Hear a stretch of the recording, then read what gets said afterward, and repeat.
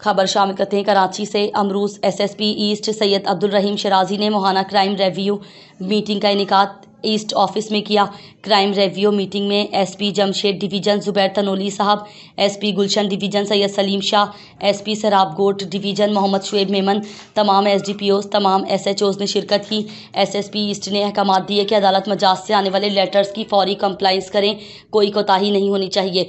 SSP east ने तमाम SHOs को कहा कि अपनी वर्किंग पर तवज्जो दें। सीसीटीवी फुटेज की मदद से मुलजिमान की गिरफ्तारियाँ तेज़ करें। मजीद कहा कि डकैती व इंजरी वारदात की जगह पर सीसीटीवी फुटेज की कलेक्शन को यकीनी बनाएँ एस एस पी साहब ने मजीद कहा कि अवाम की जान और माल का तहफ़ हमारी अवलिन तरजीह है। मीज़ान न्यूज़ से मलिक सिकंदर की रिपोर्ट।